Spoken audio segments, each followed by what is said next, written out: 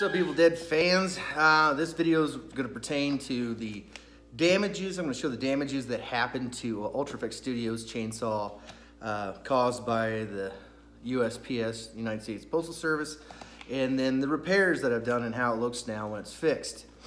So I did make a video a while back, but I didn't post it on the uh, damages. So I'm going to put it with this, and then right after it's going to show the uh, repairs. Uh, first and foremost, uh, on YouTube, check, definitely check out Jason Wade Cox. He made a video of his chainsaws he's built. And, you know, he's a very helpful guy and he's very proud of what he's done. I mean, by no means they're the most perfect chainsaw, but they're really cool. And it's, you know, he takes a lot of pride in what he does and that's incredible for anybody. I mean, he says in the video he's not a not a builder, but in my opinion, he's a, he's a good builder. And, you know, just takes that, that spark to actually start building chainsaws or whatever prop you like.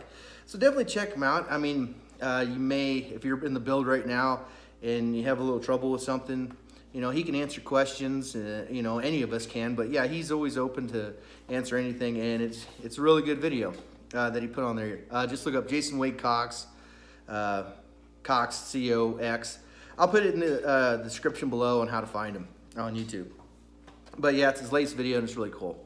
Uh, before I get started and show the repairs on this chainsaw, okay, I'm tired. I'm super tired. I've been uh, guiding all day, uh, trying to get people to uh, fill their tags and uh, for deer season, and it gets a little tiresome. Um, but this has been bugging me. Some of you, if you're living, live in the United States, or even if you don't, you know that we have midterm elections coming up. And whether you vote for Republicans or Democrats, I don't care. I'm independent. I vote for whoever, in my opinion, has my best interests or interests, whatever, and uh, or to the common being of people. Uh, but it this has been the most stupid, wasteful, damn midterm election I've ever seen. Okay, number one, I'm so sick of these flyers showing up in my mailbox, like 10 of them at a time every day. I don't care who you are. I know who you are. And don't stick crap in my door. I don't want none of that crap in my house, in my house. It's a waste. You're, I mean, we're in an age, everything's viral. I mean, nobody even buys movies anymore. They just download them. Why do I want a bunch of these things all over my house? I mean, they go straight from my mailbox to the trash. Period. It's like, okay, this, this, dump it. And then you got other people that go door to door and it's either something that goes like this. Hi, we're here to, to we just want to, we're taking a little census on uh, who you're going to vote for this year. Uh, none of your damn business, first and foremost, uh, because it's anonymous every time you vote. The only people that know you voted is the little counter thing that counts your votes. So none of your damn business who I'm voting for, number one. And I don't care who you represent because I've already decided who I'm going to vote for. And if I haven't, I'll figure that out for myself. It's not very hard to figure out what these people, what who's running, what their ideals are. I mean, it's it's basic. It's like pure pure Republican now, or it's pure Democrat, and it's it's crazy, and it just drives me nuts. I vote both ways because I just, you know, I'm independent. I I don't let either party suggest on who I vote for. And I think that's bullshit that some people vote strictly one way or the other. Really be, be independent and do your own research and think for yourself, not what a group of people tell you what you think you should do. Uh, but yeah, it's, and if I want to find out about these people, I can just look them up on the internet. I don't need these stupid pamphlets. I mean, there's one guy, he's running, and there's one of his pamphlets on the floor now, and he was kind of a dick our senator here, he I met him before. He was kind of a dick. And, you know, we were standing at a buffet line for a fundraiser for him. He was kind of a dick to me, but I still voted for him because I liked him. But it drives me nuts. It, the whole thing, I don't I don't want these stupid pieces of paper. Don't come to my door because I don't want to talk to you. It just leave me alone. I'll vote for whoever the heck I want to vote for. So, and I know a million other people are, are uh, fed up and tired of this. Uh, some people, they're really into it and they're doing the whole fundraisers and they're going door to door. to be honest, that door to door stuff is a waste of time and effort and energy because people already know who they're going to vote for. There's not somebody just sitting on their couch going, hmm, I really don't know who I'm going to vote for today. Hmm, I'm really unsure. No, it, people know. It's very cut and dry. Most people are either one side or, or they're the other. Or you got independent people like me who just will I'll, we'll go through our own facts. We'll find out for ourselves because that's the only real way of doing it. Because if you talk to one person from one side of the party, they'll say all the good shit and say bad shit about the other stuff. Sorry about cussing. And the other side will do the exact same thing. So it's just stupid. Uh, I just wanted to vent about that because I am so sick and tired of these stupid cardboard pamphlets in my mailbox. Like, like I'll have like one letter or bill or something, and the rest is just cardboard. It's just a waste of trees, man. It, we don't need that anymore. We don't have to do that. Stop going door to door. And I'm surprised I haven't seen anybody drive around in an old 50s pickup with a megaphone. Vote for this person with a flatbed truck with a some lady has a pig on a leash and something stupid like that. Some, you know, somebody like off of Old Brother Where Art Thou where some dude has like a broom he's sweeping off the back of the flatbed. I'm surprised we ain't seen that already or lately. So yeah, I'm, I'm done with that midterm election election crap. I am gonna go vote. I do it because that's my right to vote. So uh, I definitely do exercise that. Um, so with that being said, definitely check out Jason Wade Cox on YouTube. Uh, and with that being said, I'm going to show the video of the damages. Then I'll come right back after that video with the uh, repairs that I've done. Hey, Evil Dead fans, uh, here's a video of the damage that was done by the USPS shipping uh, on the chainsaw that I sent out to uh, UltraFX Studios. now he did a little bit of fixing, not much, just a little bit of adjustment. This cuff on the original pictures he sent me, this side was further pushed, pitched, or uh, excuse me, pushed in. And, and as you can see, this is still kind of messed up. And then also on the bottom, you can see that one piece is bent to hell. and also, the top has been separated from the body over here. It's all cracked all the way up to here. Just completely separated. Excuse me. And also, you can see, kind of see, that the bar bracket is kind of bent up in the back. So what it does with the chainsaw bar, when installed, it actually angles in this way rather than being straight. So what I'm gonna have to do is take it completely apart. Uh, the inner pad, I'm gonna have to somehow get that off to remove the inside bracket and rebend it, put it back in, put all that stuff back together on the inside, make two new cuff attachments, get this sitting straight, and then reattach this top with some new epoxy. Luckily, none of the paint was messed up, so it's going to be an easy fix, even though this has been separated. Easy fix. Uh, what might have happened is it was sitting in a box, in the box, it was full of bubble wrap and uh, packing peanuts.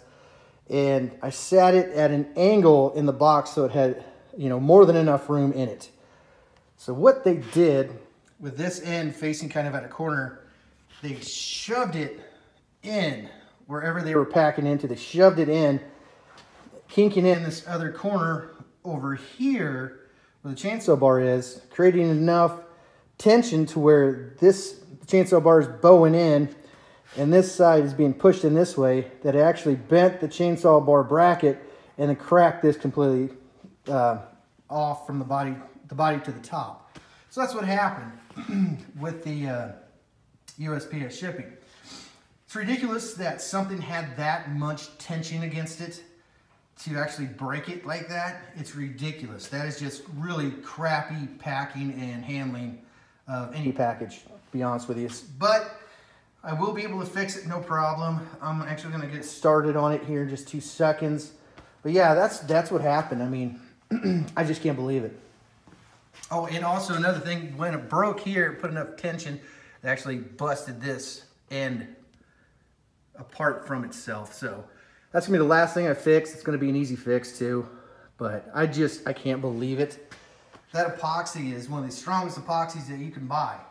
And it just boggles my mind that it actually busted that. There had to be a lot of tension, especially to bend uh, piece of bent steel here. I, I can't believe it. but it'll be fixed to 100%. It'll look like it was never broke in the first place.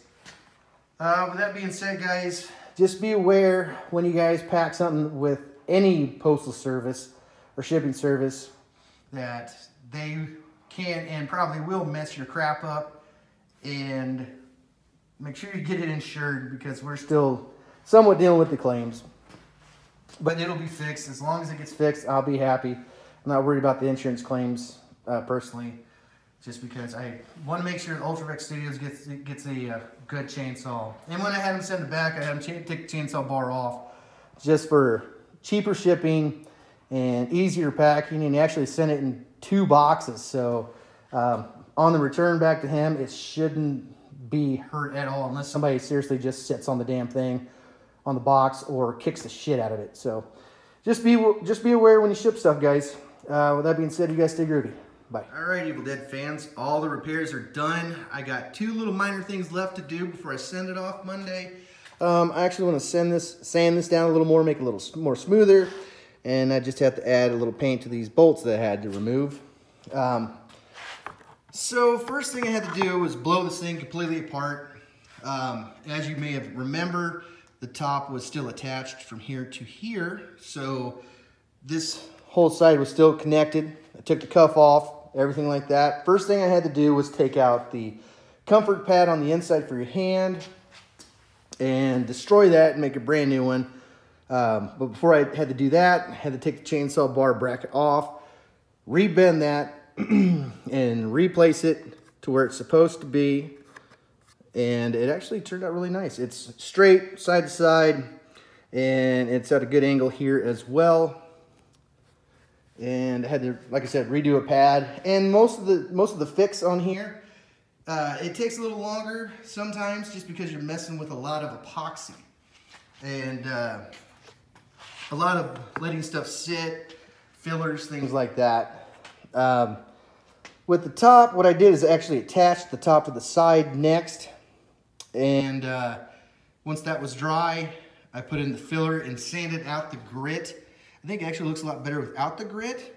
There's a little bit, but it's not as heavy as it was before. Added a little more black paint here just because I like that detail. Added in a little more silver details in the metal. Uh, with the cuff, I actually found out this ring piece was completely separated right here from the actual cuff. So I had to uh, reattach that. Uh, had to take this bracket off straighten it out, then rebend it, and it came out just perfect.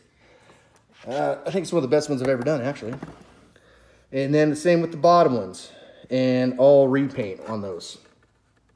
So, um, and then this edge that was completely broke, I got that completely fixed. Doesn't even look like it's broke now. Uh, had to actually re-epoxy that back together and I didn't have a clamp small enough or strong enough to hold it. So it was me epoxying it and then holding it together for a long, long time. And once I knew it had that hold, then I was able to add more epoxy into it, um, like a glue epoxy to hold it and then put some filler in, then repaint. Uh, but it came out great. It's ready to go other than those two small details that I just want to get done. Uh, I should be sending off Monday, but it came out great. Let me know what you guys think in the comments if the repairs look groovy or not. But as far as I think, it just came out, in my opinion, just a little bit better than it did originally. Um, I like the way the chainsaw bar is actually going to sit now just a little better. Um, I like the grit, not so thick in here. And the paint on the cuff, I think, is just a little better. And I like the more silver detail on the handle now uh, excuse me, ooh, geez, um, versus uh, how dark it was before. No, it came out great, and he should be getting it next week. Till next time, you guys stay groovy. Let me know what you guys think in the comments, and uh, I'm going to go to bed. Have a great, great night, guys. Bye.